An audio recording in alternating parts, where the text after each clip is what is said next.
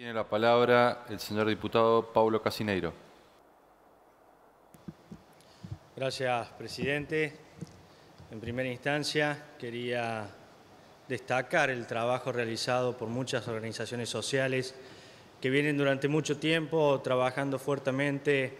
eh, en que se pueda llevar adelante la votación de esta ley, con sus aportes que son más que significativos en función de que son los que están día a día en el territorio trabajando codo a codo con las familias que necesitan hoy que su vivienda sea propia. Eh, este régimen de integración sociourbana que estamos hoy debatiendo representa un hecho histórico para sectores históricamente postergados y daremos un paso significativo en el camino hacia la equidad real y la consideración de los principios sociales básicos que proclaman nuestro sistema formal de derechos. Por lo tanto, avanzar en este sentido es impostergable. Justamente por eso la ley que promovemos debe resultar lo más amplia, abarcativa y clara posible. Entendemos la necesidad del Estado presente en la resolución del grave problema de viviendas y hábitat que posee nuestro país. Entendiendo este problema, y la necesidad de un Estado presente es que del Gobierno de la provincia de Córdoba se viene trabajando fuertemente en lo que es un programa de escrituración de viviendas gratuitas, donde ya llevamos más de 10 años, más de 10.000 familias que han sido, se les ha otorgado su título de propiedad de manera gratuita. También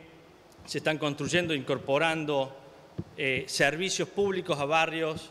que hoy eh, no los tienen y eso tiene que ver también con esta visión de un Estado presente acompañando a estos sectores postergados que no pueden hoy por hoy tener un acceso a una vivienda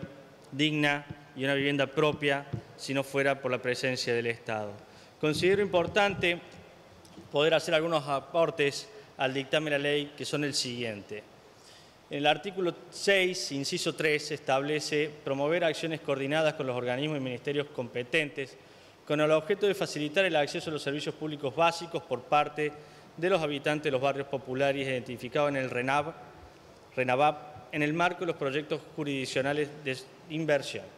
A este artículo le agregaría que los costos correspondientes a las inversiones realizadas por las provincias en relación a la instalación de los servicios públicos serán tomadas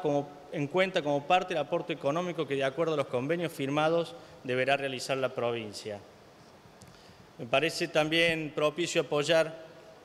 una moción que le he escuchado hace unos momentos sobre poner el monto costo, el monto máximo de cada lote, entendiendo que estamos hablando de barrios populares y que el costo máximo no puede superar los 28 salarios sociales complementarios y que se otorguen planes de pago hasta 240 meses a un 4% anual de interés aplicando sistema francés. Eh, también, señor presidente, creo que es importante que en el artículo 13, que habla sobre la creación de un fideicomiso y cómo deberá estar integrado el mismo, eh, que se vea reflejado también en el presupuesto del año 2019 eh, con las partidas presupuestarias correspondientes para poder poner en ejecución esta ley. Eh, creo que es más que bienvenida para miles y miles de familias de todo el país esta ley, ya que no poseen de manera alguna poder tener su vivienda propia. La importancia de poder tenerla, de poder transmitir a su familia, a sus hijos este bien, la tranquilidad que lleva, creo que es una cuestión que dignifica y que debe haber un Estado presente trabajando fuertemente en este tema. Eh, sabemos que la situación económica del país no está ayudando principalmente a la clase trabajadora a poder acceder a la, vivienda propia. Cuando estamos pasando por una, una situación económica sumamente complicada, en donde el año pasado, en diciembre pasado, teníamos, estábamos debatiendo un presupuesto que nos hablaba de que la inflación proyectada iba a ser del 15,7% anual y ayer nos comunicaba el ministro Duhovne que ya la inflación estimada iba a ser del 27%. También donde teníamos en el presupuesto que se votó a fines del año pasado, un dólar proyectado a 19 pesos con 30 y hoy cerró a 28 pesos con 80, que implica una devaluación de más del 50%, que por supuesto esto influye y muchísimo en el costo de los materiales, en los costos de vida. Y es por esto que creo que debemos trabajar fuerte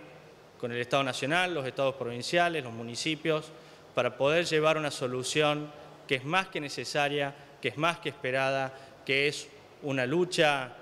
de muchísimas familias, de muchísima gente, para poder acceder a una vivienda digna,